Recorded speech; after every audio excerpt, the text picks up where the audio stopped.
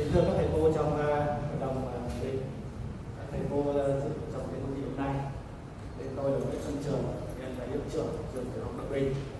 Đây là một cái địa phương tương đối khó khăn ở ngoại thành Hà Nội. Và thế thì báo cáo các thầy cô là từ khi mà internet xuất hiện rồi giáo án trình chiếu xuất hiện thì tôi đã là người đầu tiên khai thác các cái tư liệu trên internet tuy nhiên thì sau đó tôi suy nghĩ là ta khai thác tư liệu trên internet, tại sao ta không tác động nó trở ngược trở lại? Để làm gì?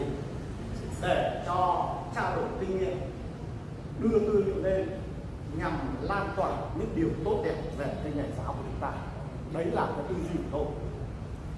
Chính vì vậy, cho nên là ngay từ năm 2010 tôi lập một cái trang web. Trang web này là trang web cá nhân trên này tôi đã đưa lên trên 500 tài liệu và gần 3.000 bài viết chia sẻ.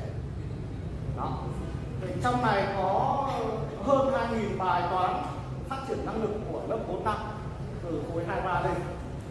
Và mỗi một bài có hàng nghìn lượt xem. Và chính cái trang web này huy động được rất nhiều các thầy cô giáo giỏi trên toàn quốc đã tham gia vào trao đổi.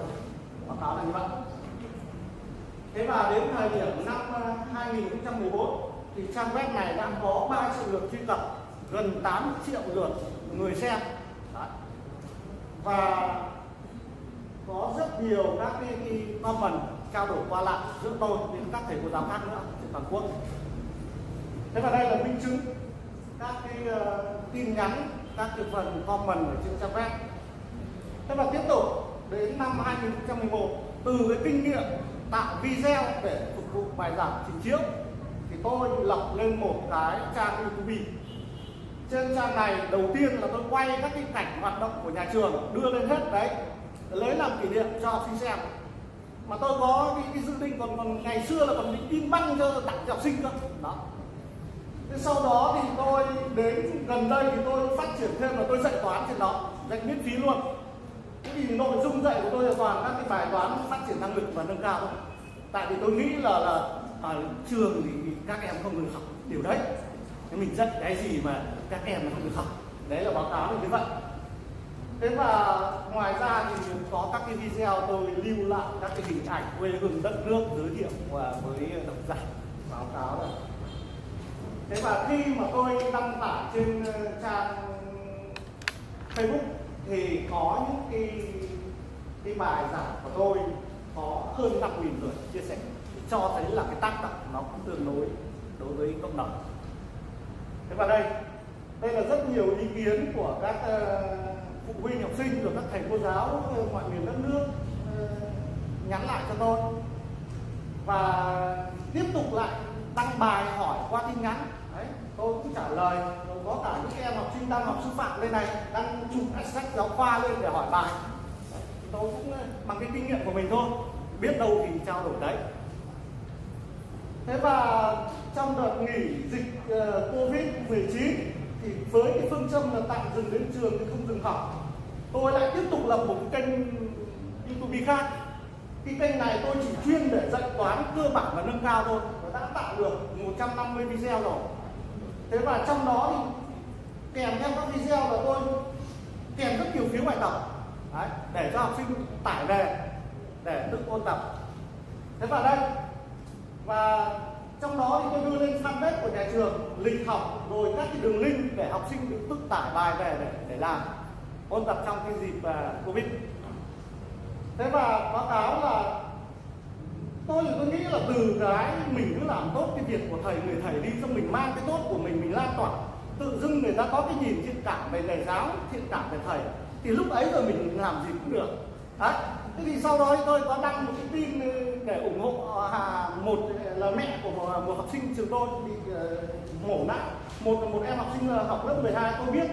Thì chỉ một ngày thôi là tôi huy động được là 26 triệu 400 và cái tin sau là tôi đăng trong 4 giờ thôi là được 3 triệu 3 triệu tư sau đó thì gia đình gọi điện là thôi không nhận nữa và để cho dành cho trường hợp khác thì tôi đóng lại.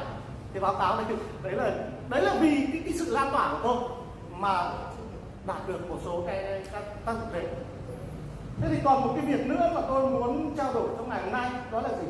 Tôi đọc trên cái báo giáo dục. net vn ấy là thấy rất nhiều bài của các thầy cô giáo cứ đăng lên xong nói xấu hiệu trưởng nói xấu hiệu phó rồi nói xấu đủ kiểu. Đấy tôi đọc cái bài những cái bài đấy tôi viết thư cho cho cho cho, cho uh, một cái, cái đồng chí ở tòa soạn này này.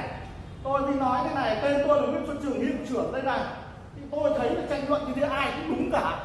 Nhưng mà tại sao không đăng những cái bài mà để cho quản lý giáo viên được học được nâng cao trình độ chuyên môn mà lại cứ toàn những cái xấu cái cái cái tiêu cực mang đi mà nó không phải là đại, đại diện đó. Thì sau đó thì tôi đăng một cái bài là gì? Một hiệu trưởng tự nhận người ta lấy tiêu đề như thế tôi chưa xứng đáng là một nhà sư phạm. Tôi tự nhận mình chưa làm một nhà sư phạm. Để tôi nói các cái cái mà giáo dục chúng ta đang đang vướng này này. Đấy để mọi người rút kinh nghiệm và tránh nó ra. Thì đấy báo cáo là như vậy. Và tôi thì quan niệm thế này. Trách nhiệm của mỗi người thầy không chỉ làm tốt cái công việc dạy và học của mình mà cần phải làm cho xã hội có cái nhìn trân trọng về nghề giáo. Thế và nếu như đặt tiêu đề cho cái, cái nội dung tôi trình bày thì tôi đặt là uh, dùng mạng xã hội để lan tỏa nét đẹp của nghề giáo ta. Xin à, cảm ơn quý vị đã lắng nghe. Ờ, thầy trường hôm nay tôi ngồi hội đồng thì rất nhiều hiệu trưởng báo cáo thì đa số là những thành tích rất giống giống nhau. Chúng tôi biết sự uh, tức là uh, mô tả công việc giống nhau. Nhưng mà thị trường thì cuốn hút chúng tôi ở cái mà uh, một việc làm rất thiết thực rất là có ảnh hưởng tốt đến công việc của thầy có những trong phạm vi của trường của huyện thầy mà à, phạm vi rộng hơn vì thầy thầy dùng uh, web. Như cô thơ nói là gì nội công thì thông hậu ạ còn gì nhỉ? Vâng ạ. À, võ công thì à, thông hậu và gì ạ? Vâng võ công thì thông hậu thì thầy nhưng mà thầy có nội công rất là thông hậu rồi đúng không ạ? Bây giờ cái cách làm của thầy tôi nghĩ là nó sẽ tốt hơn. Nếu như thầy à, biết là thầy thầy thầy hay là thầy chưa chưa bộc chưa bộc lộ. Tức là thường người ta muốn tăng view người ta muốn à, tăng cái tương tác tăng cái cái cái cái cái, cái tăng view và tăng sự quan tâm của của của khán giả thì người ta phải có thêm cái tương tác.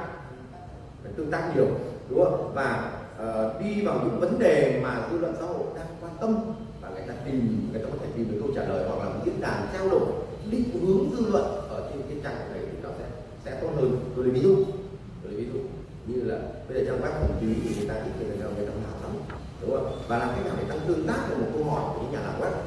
Đúng không? Đấy, một cách chuyển đổi của những nhà làm web. Thì thầy nói là có tương tác rồi nhưng mà thầy nếu mà thầy cho chúng tôi hình dung là ờ, cách làm nào để tương tác tương tác vấn đề gì mà nó lại lại tạo được người ta quan tâm nhiều hơn nhá. Cái thứ hai nữa là những vấn đề mà xã hội quan tâm đặc biệt đến giáo dục tiểu học mà thầy không những chỉ làm cho thỏa sức của thầy mà thầy lại còn làm cái tính trách nhiệm với nghề với ngành với nghề nữa tôi nghĩ cái này nó sẽ tốt hơn. Thì có thể nói thêm về hai cái điều này. Tức là làm thế nào để tăng tính tương tác chứ bây giờ mà mở web là xong toàn bài giáo điều ấy và tất nhiên thế này này uh, uh, những cái bài trao đổi chuyên môn thì cũng tốt. Mở violet thì mở cái gì ra cũng nhiều thứ để người ta hỏi và những bài powerpoint để bài giảng cũng vân tốt. Nhưng mà cái tăng tương tác trao đổi với nhau thì tốt hơn. Thì nói thêm về cái chỗ này là một. Cái thứ hai nữa là cái cái, cái các vấn đề mà xã hội đang quan tâm. Đặc biệt là vấn đề của tiểu học thì thầy có đặt ra là không thể làm thỏa mãn của riêng tôi không mà làm vì mục đích định hướng dư luận cho nó tốt hơn. Cái cái cái cái cái, cái, uh, cái công việc của thầy công việc ngành nghề để nếu một ngày đẹp trời thì nghỉ hưu thì đã có một giai đoạn thầy tham gia vào cái ngành để giải quyết dư luận cho ngành. Đúng không vâng. thầy nói luôn tôi thì hoan nghênh cái đặt vấn đề của thầy ân là cái sự lan tỏa của chúng ta với xã hội. Rất quan trọng. Đó nhưng mà tôi thì quan tâm là thầy là một chủ giỏi cả về chuyên môn lẫn công nghệ, tuyệt vời. Nhưng mà thế thì tôi muốn biết đội ngũ giáo viên của thầy, có bao nhiêu người thầy đã thay đổi? Đội ngũ giáo viên của thầy làm sao thì cả của thầy nên như nào? Dạ, cảm ơn thầy. Dạ em ờ, xin ờ, có ý kiến trao đổi ờ, lại với các thầy cô một chút thứ nhất, về nói tương tác ở trên các trang mạng xã hội thì hiện nay trang web thì hầu như là không có độ tương tác nhiều người. Thế thì hiện nay là các ờ, Facebook